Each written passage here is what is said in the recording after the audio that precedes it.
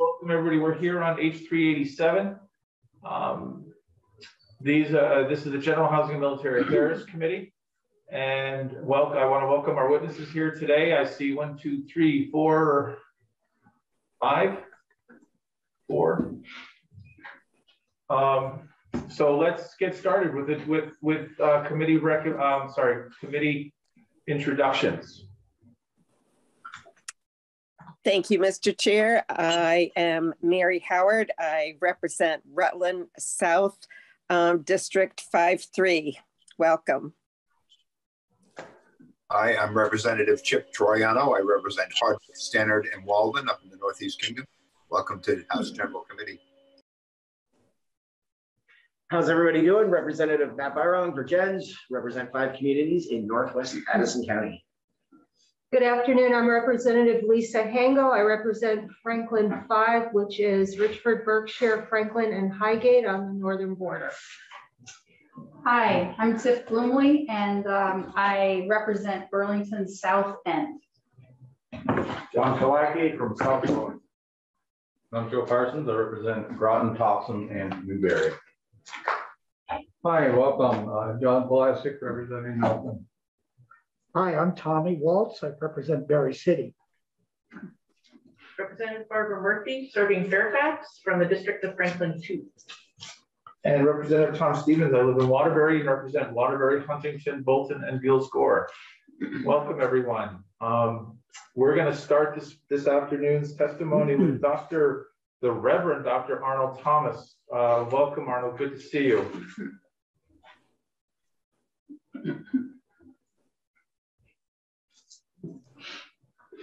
let me unmute myself. There you and, go. Uh, and to let you know that I'm glad to be invited to this occasion on this most important topic regarding the establishment of a reparations task force. I think that as we discuss the possibility of establishing this task force, we need to look at the, the historical context in which this concern rises.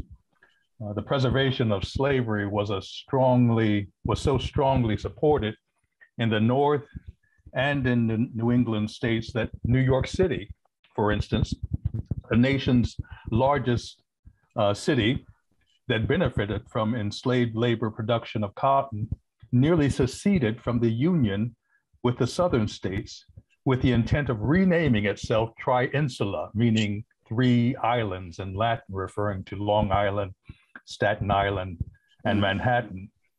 And while New York State favored the election of Abraham Lincoln, New York City, in particular, voted in favor of his opponent, Stephen oh. Douglas, who, like Lincoln, represented Illinois, but was a native of Vermont, born in Brandon, Vermont. Now, while Douglas represented the slave free state of Illinois, his personal and political livelihood was also supported by slavery. His first wife, Martha Martin, was the daughter of a wealthy Southern planter who bequeathed to her a 2,500 acre cotton plantation with 100 slaves and appointed Douglas the property manager. 20% of its income from this property was used to advance his political career. Douglas' view towards slavery reflected that of many Vermonters from the state's inception through the first half of the 19th century, specifically that while slavery was a gross evil, it was still a necessary evil that bolstered most of the economy of both North and the South. Cotton was the largest income producer during the first half of the 19th century, largely because of enslaved labor. And to maintain white hegemony in so called free states such as New York, Illinois, Indiana, Connecticut, and Massachusetts, African Americans without property were denied the right to vote. So the small percentage of free Blacks who owned property, even in Vermont, where property was not a prerequisite for suffrage, posed no threat as long as their population growth was discouraged. Now, in Vermont, such discouragement took the form of biased behavior and regulations supported by political, social, and religious leaders who abhorred slavery, yet who also abhorred the unbridled emancipation of African Americans who whites regarded as inferior to themselves, granting Black people equal status with white Americans, allowing them to live, work, and intermarry, intermarry within the predominantly white culture was a nightmare for white, for white Vermonters who preferred to avoid, who preferred to rid their state and the nation of this population by settling them in Africa. Records reveal that Vermont during the first half of the 19th century was hostile toward those advocating full equality between Blacks and whites. In 1843, Frederick Douglass was invited to speak in several Vermont towns and afterwards reported that most of the towns he visited revealed that Vermont was surprisingly under the influence of the slave power. Her proud boast, he goes on to say, her proud boast within her borders that no slave had ever been delivered up to his master did not prevent her hatred to anti slavery. He further wrote that in Middlebury, the opposition to our anti slavery convention was intensely bitter and violent. Few people attended our meeting, and apparently little was accomplished. End of quote. Only in Ferrisburgh, the home of Rowland Robinson, whose farm served as a station on the Underground Railroad and is presently the site of the Rokeby Museum, did Douglass receive a favorable reception. My point is this reparations in Vermont require the sobering acknowledgement that Vermont, like most of America prior to the Civil War, was compliant with the institution of slavery and ridding of this nation of the vast majority of free Ameri- free African Americans was its intent, was the intent of many of the most um, reputable leaders in our state. Recon- reparations and reconciliation cannot occur until the truth of our history is revealed, accepted, and embraced. And I hope that the establishment of a repar- reparations committee will include this intent to expose Vermonters to the reality of our past. Thank you. Thank you, Arnold. And we will see you tomorrow as well to comment on page 96. Um, yes. Similarities, but it's not the same as this bill here. uh, um, so thank you. You're welcome. Um, let's move to Lydia Diamond.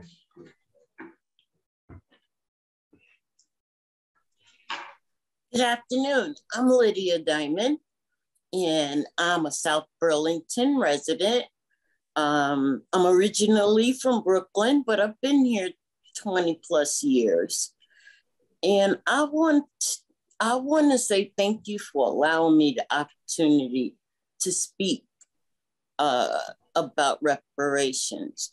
And we need this reparations task force because we are still oppressed. There are still areas in which things are not equal or we are not allowed. Um, I shared with the group that um, I'm coming up on 40 years of skin in the game of bingo.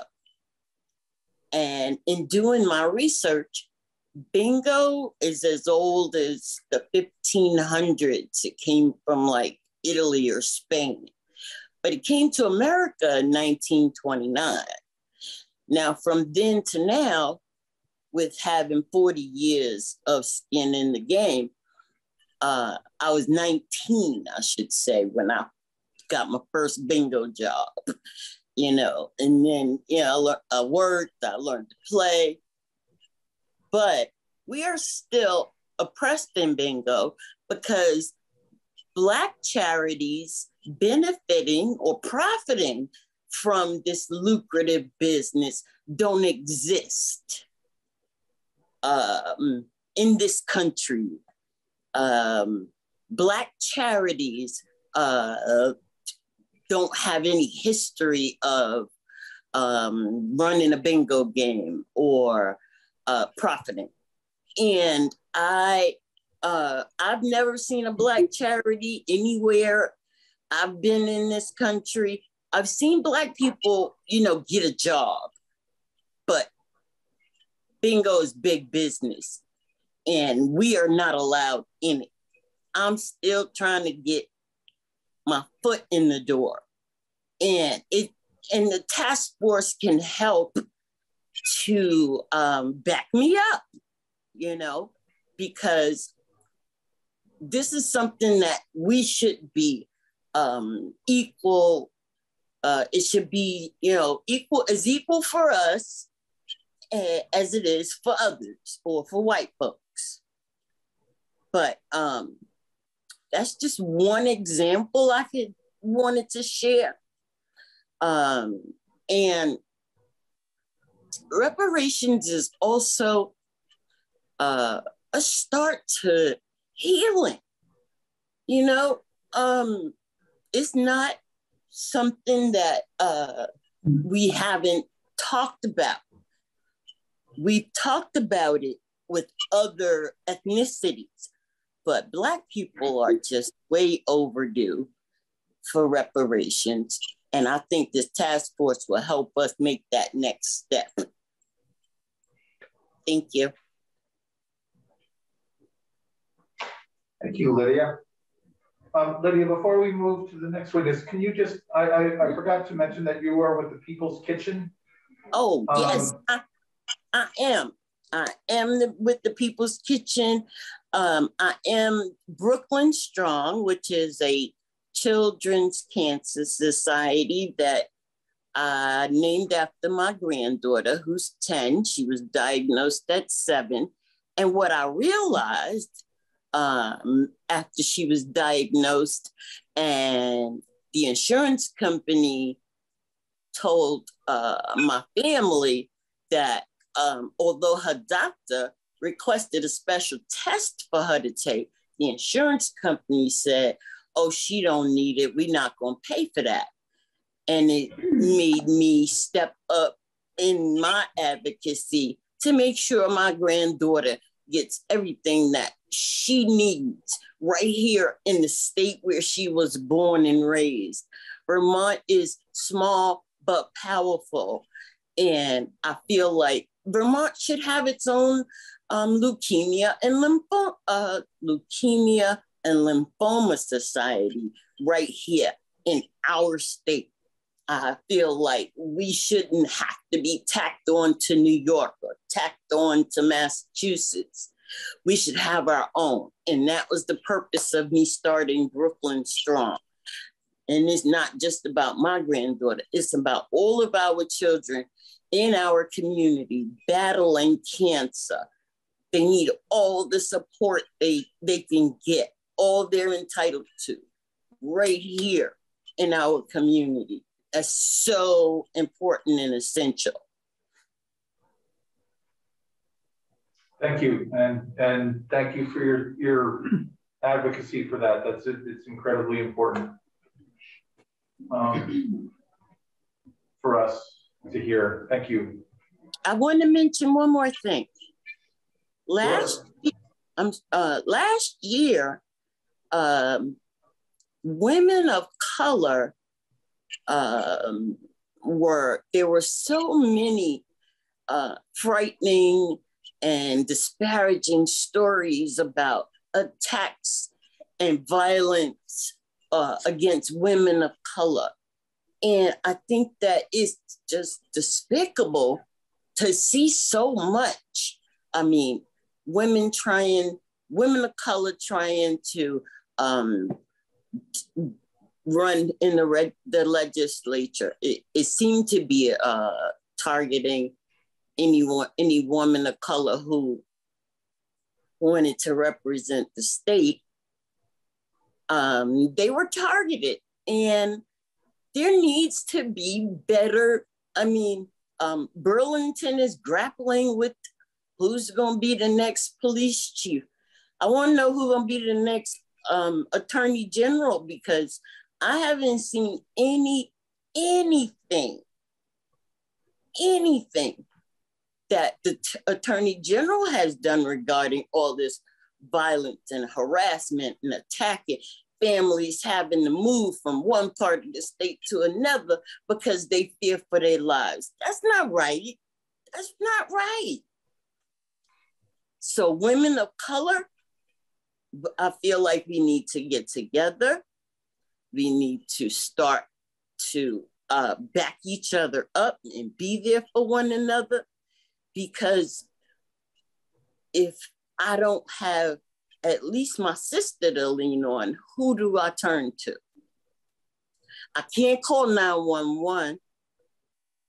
They are of no use to me at.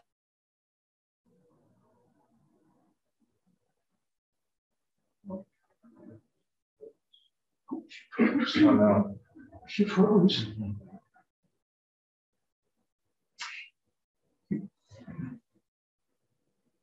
Well, let's see if she comes back in a minute. Um, next on our list here is Karen, is it Sita?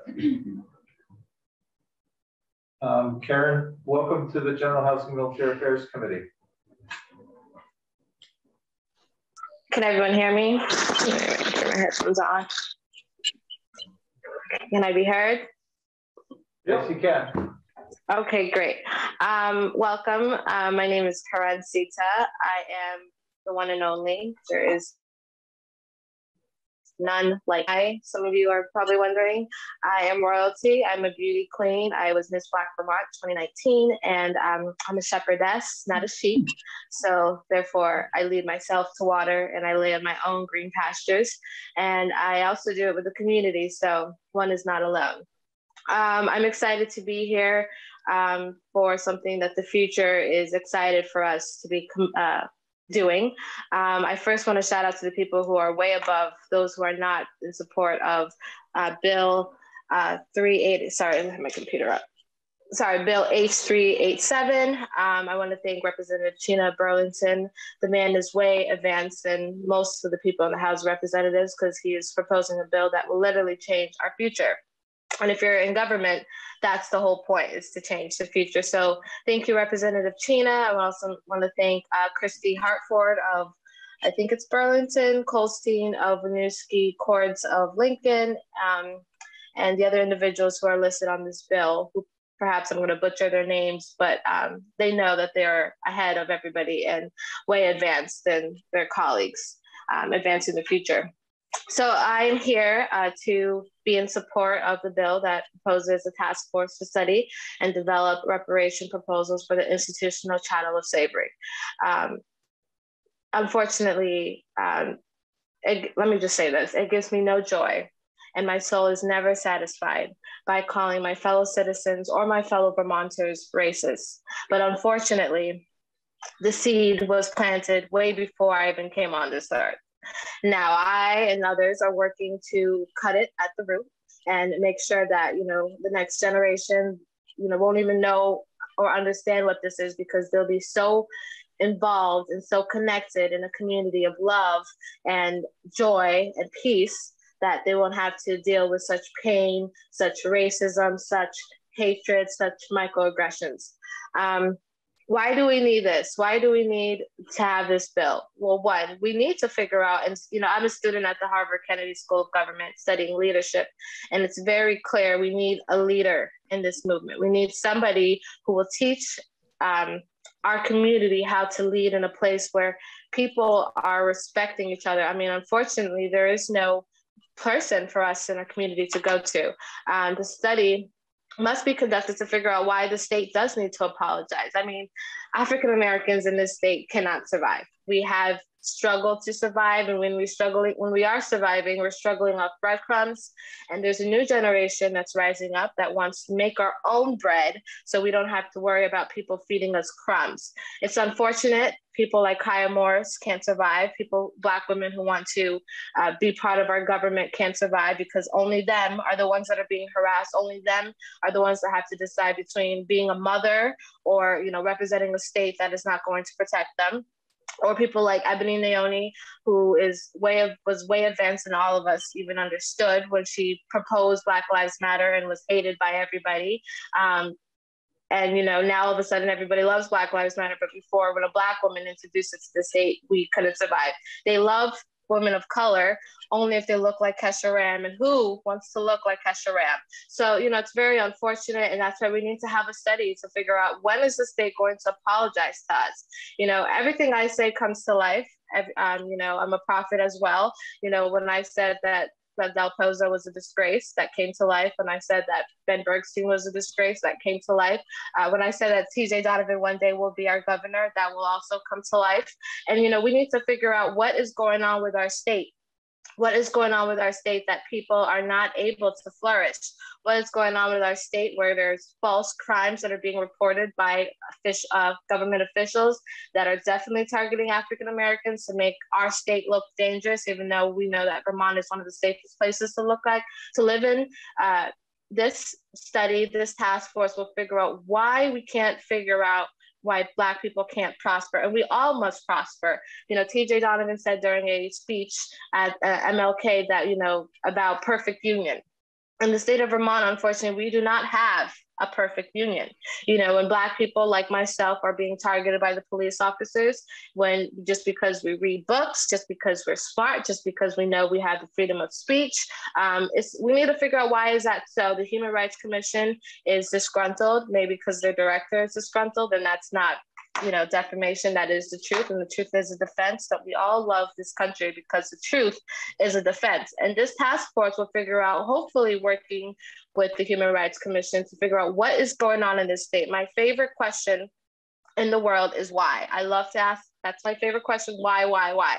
Why is that? Why is that we're not able to flourish? Why is it that we're not able to get mortgages? Why is it that we're not able to start businesses? Why isn't it that we're not able to own land? Why isn't it that there's no place for us to have childcare with a woman of color? Why is it that you know children have to suffer to get scholarships? Why is that? Why is the African community always below? Why is it that we have to always get on our knees to beg people of co- white people in the state for something as if they're different than us, as if they have, you know, you have two hands, you have two feet, you have two eyes, you have the same passion as us, but yeah, we always have to get on our knees and beg why do we have to be beggars and you know this task force will answer those questions and give us recommendations you know we don't want to be beggars you know, we have been taught to be beggars, unfortunately, because we have been given, again, crumbs. This task force will give recommendations to our state, our government officials, our governor to figure out how can we teach people in our state how to properly feed themselves. So the sheeps that we all are controlling can one day become their own shepherds and their own shepherdess and lead themselves to water. And not only lead themselves to water, lay in their own green pastures and be at peace. Um, we can't, you know, again, it gives me no joy to say that this state is racism, racist. It gives me uh, no joy to say that racism is all over our police department. It gives me no joy to say that it's all over the University of Vermont Medical Center. But the truth can never be improved. It is what it is. And unfortunately, we need to figure out how to take it out the root. We need to figure out why is it so? Why is it, you know, that we're not able to flourish? Um, these recommendations will be uh, these recommendations will include people who are intelligent, who are passionate, who are able to look you in the eyes with integrity and say, this is what needs to be fixed. And, you know, it gives the opportunity for our governor as well to not only be the first person to start the task force, but to be an individual who says, I care about Black people. I'm removing slavery from the, our, our Constitution, and I'm also creating this task force. We have supported their issues for a long time. And, you know, I don't think it's anything wrong in 2022 for saying, hey, let's pause and have you think about our issues. Let's have you think about why we are not financially well. Let's have you think about why we're not mentally well. Let's not let's start thinking about why we're not, you know, healthy. Why is it our time for our community to ask these questions? We've already fought for their issues. Now it's time for us to fight for our own issues. It's unfortunate that we're here, but we're here. And we can be 3,000 years back, or we can move forward and look back and say, you know, we did a great thing and it is well with our souls. So, again, I am here to support H387 for the task force. Um, task force to study and develop reparation proposals. It doesn't always mean money. Reparations can mean so many things, and we need that task force. We need those people who will go into that room, discuss it, use their intelligence, use their passion, and discuss and figure out what can we do. It's unfortunate but you have to be a black woman to know how painful it is to grow up in a state that talks about you know loving each other talks about freedom and unity when there is none and if you are a black woman, they like you as a black woman if you're, you know, look like Hester Ram, have the hair like Hester Ram. But if you're black, if you're strong, if you have a mind, if you say, no, I'm going to be better than what you guys, the breadcrumbs I've been fed, they tend to discredit, you know, discredit you. They tend to look at you like you're nothing. And, you know, as, as a student at the Harvard Kennedy School of Government, you know, we talk a lot about leadership, and real leaders are always ahead of everybody, and they're waiting for others to catch up. Vermont has an opportunity to be ahead of everybody in this country, and, and then they're going to catch up to us. And we will set that example, and we will be the state where people flourish to instead of people not wanting to come to. We will be the state that has the high real estate because everybody wants to come because we'll, they'll realize that our policies, our legal policies, are truly based off freedom. And they'll look at our flag that says freedom and unity and they'll actually believe it. So here's for people who are advanced here's for people who are visionaries. Uh, Brian Cina is a visionary. Everybody else that I uh, were part of this bill is a visionary. And, you know, this task force must be created because there is pain and suffering. There is emotional distress. And our government officials have an ability and an opportunity to change that. Thank you. Thank you, Karen. It's Karen. I'm sorry, I forgot to correct. I forgot to correct you in the beginning. It's Karen, the one and only. Correct. Karen. Correct. Yes. Thank yes, you. sir. I appreciate Very that. welcome. Um, next on our witness list is Zoe Hart from um, the First Universalist Society and Vermont Interfaith Action and the Vermont Racial Justice Alliance affiliate. Welcome, Zoe. Thank you. And while we're correcting names, it's Zoe. The E is silent. Thank you. Uh, my name is Zoe Hart. I live in Shelburne, Vermont.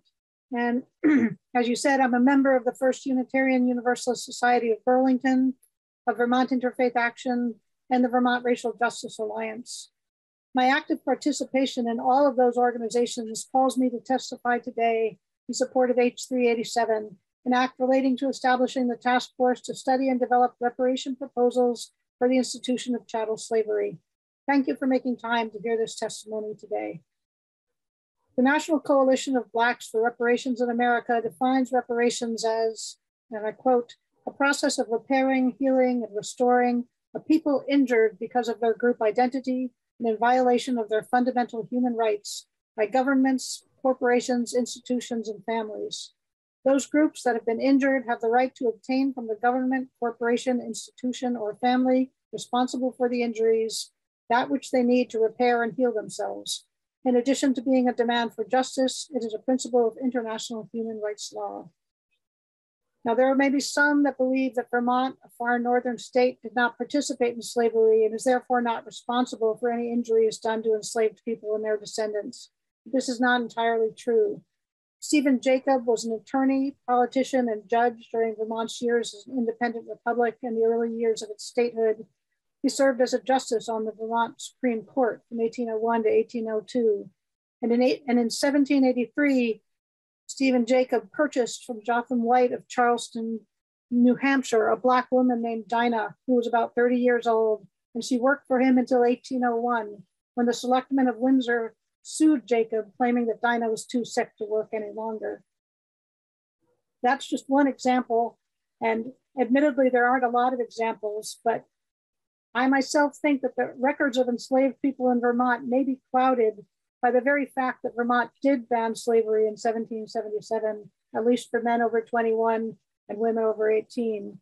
Because of that ban, Vermont slave owners may well have listed enslaved people simply as servants within their household, making the records of enslaved people much more difficult to uncover in the state. More importantly, however, even if enslavement of people was not common in Vermont history, the economy of this country was built on top of the slave trade, and few businesses or families were untouched by it. The textile mills of the North demanded the cotton from the South, picked by enslaved people, and produced slave cloth, inexpensive, coarse material from which clothing for enslaved people was made and sold back to Southern landowners. There may be some who believe that because slavery happened so long ago, there's no need for, or it is too late for reparations today. Slavery was abolished in 1865, but the abolishment of slavery was followed by Jim Crow laws that imprisoned Black people and enslaved them through prison labor. And for another 100 years, Black people were racially segregated, denied the right to vote, education, and basic dignity. And in the 1930s, the federal government began redlining real estate, marking risky neighborhoods for federal mortgage loans on the basis of race. And in 1996, homes in redlined neighborhoods were worth, worth less than half that of the homes in what the government had deemed as best for mortgage lending. And that disparity has only grown greater in the last two decades. I got that from an article called Redlining by Adam Hayes. The civil rights movement of the 1950s and 60s helped end legally authorized segregation, but racial bias and oppression did not end there. The war on drugs has disproportionately targeted and imprisoned people of color. Traffic stop data in Vermont shows that Black drivers were more likely to be stopped, searched, or arrested than white Vermonters in 2019, even though searches of Black drivers had a lower hit rate for finding contraband. There's not time today to list all of the ways that Black people continue to be injured by unjust systems in our country and in our state. Reparations, we're not just talking about reparations for slavery, we're talking about reparations for 400 years of history up to the present day, an unbroken chain of history in which oppression of Black people was never truly abolished but simply changed from one form to another. Now, some people will still say, I'm not responsible for what's happened to Black people or people of color. I haven't oppressed anyone. And here I would like to quote John A. Powell, professor of law and professor of African American Studies and Ethnic Studies at the University of California, Berkeley Law School of Law. John A. Powell says, the thing that's really slick about whiteness, if you will, is that most of the benefits can be obtained without ever doing anything personally. There are a whole set of assumptions that flow from being white, just like there are a whole set of benefits that flow from being male. You know, being a man doesn't mean that you have to have antipathy, antipathy toward women, but if society is patriarchal, which a lot of people say it is, it means that the way resources are distributed in society benefits men. In that sense, men are not innocent, even though they may not personally have antipathy toward women. In the same way, in that sense, whites are not innocent, they are given the spoils of a racist system, even if they're not personally racist. End quote. So while I hope that I have not personally oppressed a Black person, Indigenous person, or person of color, I recognize that I have benefited from their oppression, and it is my responsibility to help put that right any way that I can.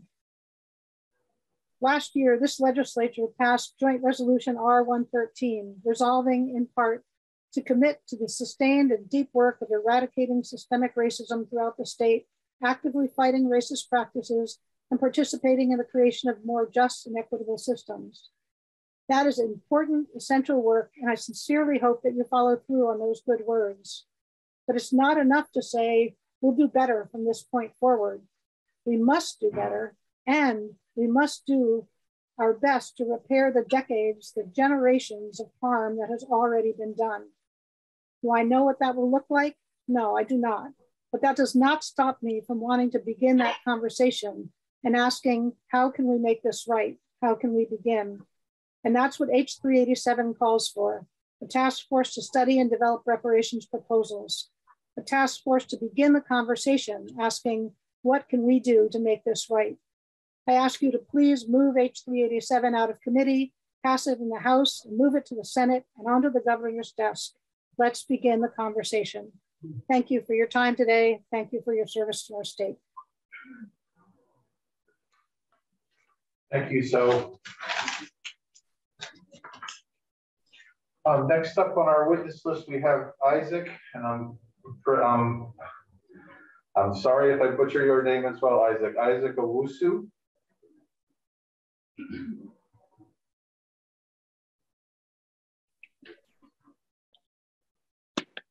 Did it. Got my name right. You go. One for for five, but here we go. Thank you guys for having me. My name is Isaac Owusu. I'm the Director of Community Engagement and Support for the Vermont Racial Justice Alliance. And I'm here in support of H387. I know the country uh, usually asks why reparations, but the real question should be does slavery exist? Does systemic racism exist? Does generational trauma exist? Do disparities exist in all social determinants of life for Black and Brown folks? And what is the solution? How do we begin moving towards a solution? How do we, sorry, or do we ignore the generational curse that slavery has started? So there has been talks on a national level. I mean, we all know HR 40, which would establish a federal commission to study the legacy of slavery in the United States. I mean, this took 400 years just to begin a study.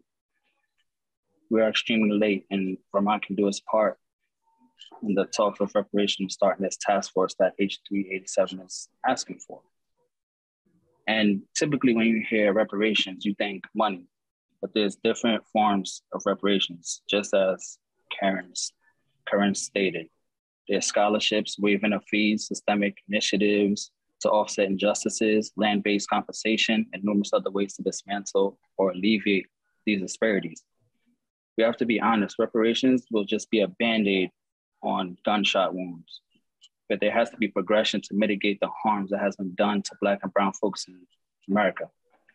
Here's some examples of reparations that have already started. In Evanston, Illinois, which established a reparations fund to support initiatives addressing historical wealth and opportunity gaps for Black residents. And they're funding that with a $10 million, sorry, the first $10 million in revenue that the city will collect from its recreational marijuana sales. California has also started its own form of HR 40 commission, sorry, HR 40 style commission. And that's to study and recommend reparations for Black Californians. And there's numerous other cities and states that have started. There's uh, Providence, Rhode Island. Um, we're all familiar with Asheville's, North Carolina's, Amherst, Massachusetts, and various other communities. So I, I want to state this clear this is not truth and re- reconciliation. This is about addressing the crimes against humanity of slavery with an intentional and singular focus. We all know truth. We all know the truth. And sorry, reconciliation is the restoration of friendly relations. There has been nothing friendly about slavery. Reparations is the making amends of wrong one has done by paying money to paying money or otherwise helping those who have been wronged clearly H387 is more appropriate in keeping a commitment Zohar just spoke of, the commitment to dismantle systemic racism. Thank you all.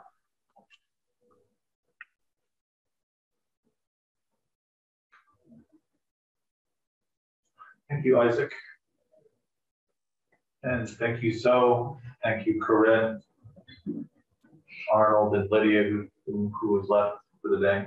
Um, for sharing your thoughts and your truths. I mean, it's important for us to hear them in this in this um, forum, and I appreciate the time that you took to, to share them with us.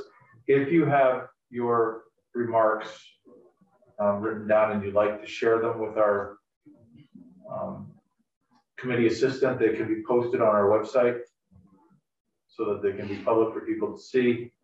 and for us to refer back to um, as we consider consideration for our, our legislation this year. So um, Can I just say one more thing, sir? I don't even know who's speaking because I can't hear, but um, I can't see you, but you know, I'm sure you can see me. Um, I just want to say, you know, as Nina Simone would say, it is Black History Month. Um, you want to be able to sleep when the day is done. So remember that while you guys make your decisions. That's the whole goal. Sleep when the day is done. So, and I just also want to say, I what because what Zoe said at the end was so eloquent and so great, and what a queen. Um, I also agree, you know, that um, the mayor, this should be in the governor's desk. And everything she said at the end was so amazing. I'm not a plagiarized person, but if I could copy and paste, I would because it was brilliantly said. So, but for you guys in room 420, uh, 42, the goal is to sleep when the day is dead. Okay? And also, happy Black History Month. Thank you, Corinne. All right. Um, that's our testimony for this afternoon. Um, we have a break. Um, committee, actually, before we go off the air, um, as we schedule for next week, um, scheduling in, um, I've been in contact with an organization called the International Center for Transitional Justice. And they're an organization based in New York and DC.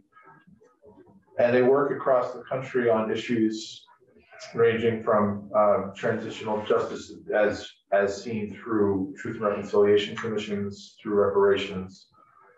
Uh, they're working with Maryland at this point in time, or they have connections with Maryland, which is working on the Truth and Reconciliation on um, an anti-lynching Truth and Reconciliation Commission. Um, and so they have offered to work with us next week.